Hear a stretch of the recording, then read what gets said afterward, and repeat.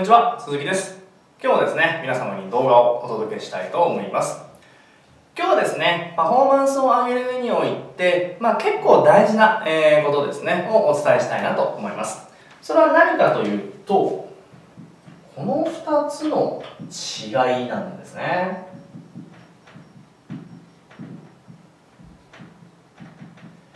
状態と動作っていうね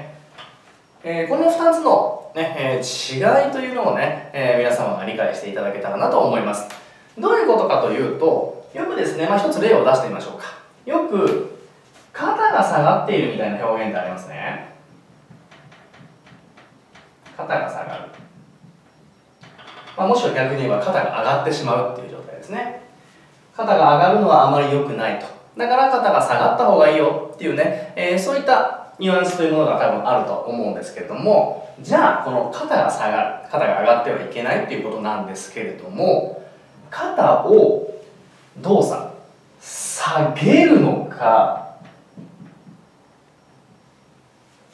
下げるという動作肩を下げるのか肩が勝手に下がっている。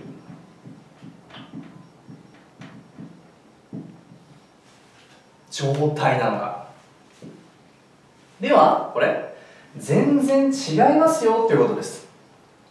下げるのか下がっている状態なのかというのはこれまだ全然違うということです。全然違うということです。でこういう肩が下がるとか、ねえー、そういうふうなものっていうのは私の経験的な感じなんですけどもこれはどちらかというと全部状態である方がいいということです。つまり肩が上がっては良くない。だから肩を下げましょうではなく下がっている状態になるための工夫をしなきゃいけないということです。わかりますかね？肩を上がってしまうと力が入ってしまうから肩を下げましょう。下げましょうというふうな動作によって改善をするのではなく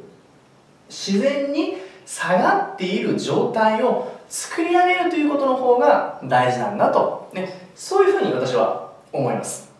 じゃあその下がっている状態を作り出すのはまあいろんな方法があるわけですね。まあストレッチでも OK だと思いますし矯正でもいいと思いますし、ねえー、骨格の改善であったりとかまあいろんな方法があると思います。そうやって、ね、いろんな方法を駆使して下げるのではなく下がっている状態にしてるするしておく。ということが大事ということです。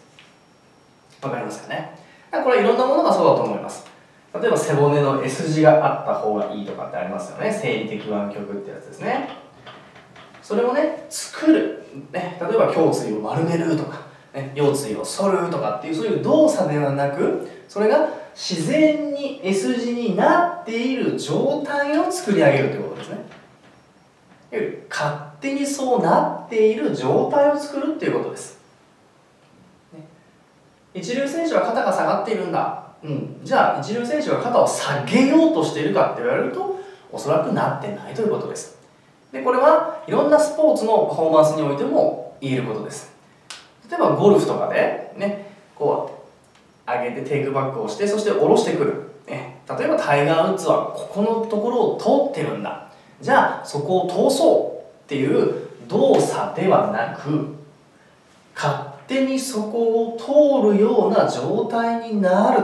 しておく。ということが大事ということです。ここのニュアンスの違い分かりますかね？この状態と動作ということです、ね、